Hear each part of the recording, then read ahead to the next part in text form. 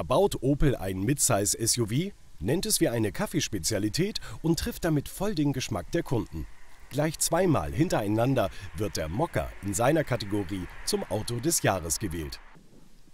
Erster Eindruck nach ein paar Kilometern Testfahrt: Es macht viel Spaß, mit dem Mokka unterwegs zu sein. Zunächst einmal ist er dank der hohen Sitzposition und seinen nicht ganz so gewaltigen Ausmaßen sehr übersichtlich. Außerdem ist das Fahrwerk gut abgestimmt und sorgt neben einer guten, stabilen Straßenlage für ein recht komfortables, sanftes Fahrgefühl, ohne dass der Mokka dabei schwammig wird. Schlechten Straßenbelag gleicht er mit stoischer Ruhe aus, selbst Kopfsteinpflaster verarbeitet er locker. Diesen Belag hört man allerdings im Innenraum deutlich.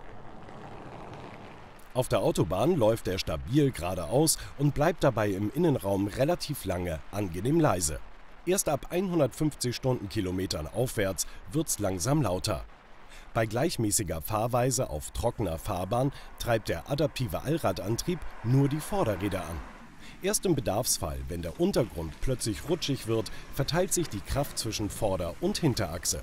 Die Verteilung funktioniert für eine optimale Traktion automatisch und stufenlos bis zum Verhältnis 50 zu 50. Mit einer Länge von knapp 4,30 Metern und einer Höhe von 1,66 Meter ist der Opel Mokka noch angenehm kompakt, bietet aber trotzdem genug Platz für die meisten Alltagsfahrten.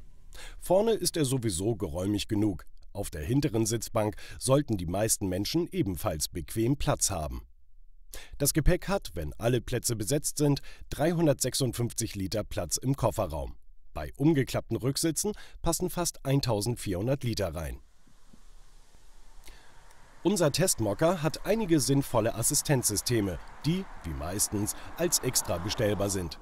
Neben einem adaptiven automatischen Fernlicht gibt es eine Kollisionswarnung, die einen Auffahrunfall verhindern kann, einen Spurverlassenswarner und eine Verkehrszeichenerkennung.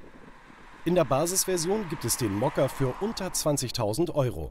Und da sind schon die Dachreling, Berganfahr- und Abfahrassistent, ein Reifendruckkontrollsystem, der Tempomat, beheizbare Außenspiegel, Komfortsitze vorn und die Klimaanlage mit an Bord.